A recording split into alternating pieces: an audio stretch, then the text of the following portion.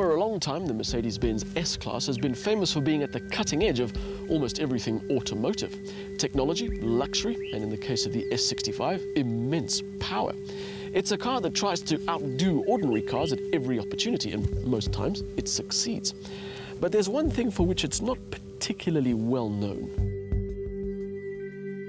While all the ordinary cars are trying their best to answer the need for efficiency, the S-Class has largely carried on being powered by big motors, shifting its big body around while carrying all those advanced systems and all that luxury on board. So being efficient hasn't been one of its strong points. And you can understand that. I mean, up till very recently, the argument was that if you could afford a 2 million rand luxury saloon, you could afford the fuel bill. But these days, the question about burning through loads of fuel isn't so much about whether you can afford it financially or not. It's about whether or not companies can be seen standing idly by as people point fingers and say the manufacturers are responsible for our poor planet suffocating. And so, inevitably, Mercedes Benz has had to jump on that organic, free range, fair trade, gluten free, sustainably manufactured bandwagon and make sure the S Class is a world beater when it comes to not beating up the world. There is a slight stumbling block with that, though, and that is with the state of technology the way it is, no one really has a clear advantage. So, Mercedes Benz has decided to match the rest of the world by introducing a plug in electric hybrid called the 500e. It's not the company's first hybrid, but it is the first one that allows the battery to be charged externally. Just like various Volvos and BMWs we've tested before, it uses a similar system to charge the car's lithium-ion battery from a domestic power socket. Fully charged, that battery can give you an all-electric range of around 30 kilometers. So in theory, if you do less than 30 kilometers a day, you could run the 500e as an electric car, with the only restriction being a limited top speed of 140 kilometers an hour. Realistically, that's not going to happen though. But the hybrid drive system is very good at deciding for itself whether to use battery power or petrol power or a combination of both. And the results are very obvious to see. The fuel consumption is surprising.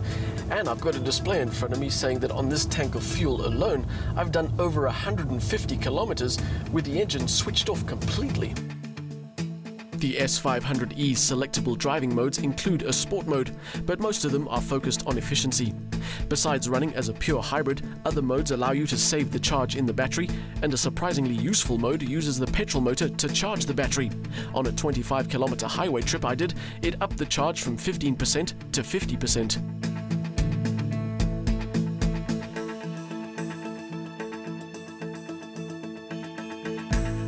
This isn't the first S-Class I've driven, but it is the first time I've noticed something about driving an S-Class. And that is, behind the wheel, you do feel like a bit of a king of the world.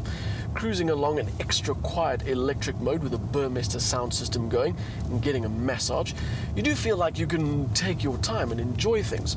People will wait. You're driving an S-Class.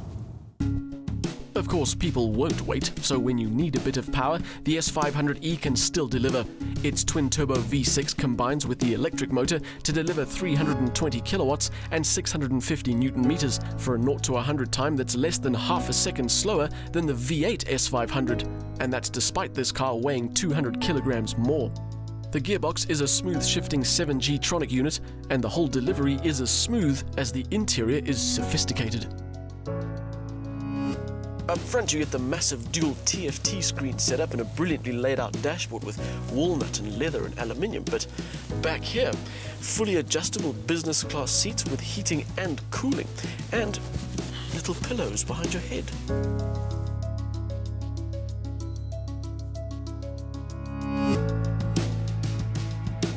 It'll also automatically switch on the aircon as soon as you unlock the car, and it even has a cup holder that'll keep the temperature of your drink just right.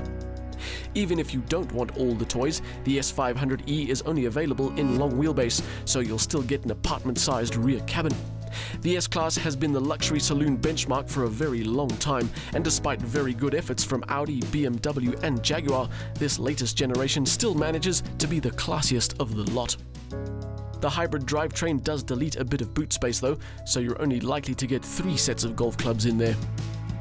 the 500e hybrid sees Mercedes-Benz taking another step towards bringing its high-end saloon in line with the rest of the world in terms of efficiency. And even though it is the more environmentally considerate option, it still has the best technology, a stress-free drive wrapped up in brilliant luxury. So it certainly hasn't forgotten how to be an S-Class.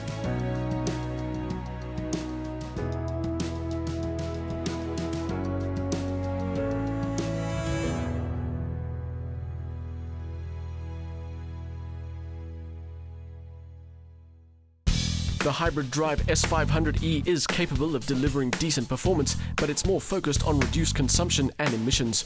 Our test car returned a figure of around 10 litres per 100 kilometres, despite the car weighing 2.2 tonnes.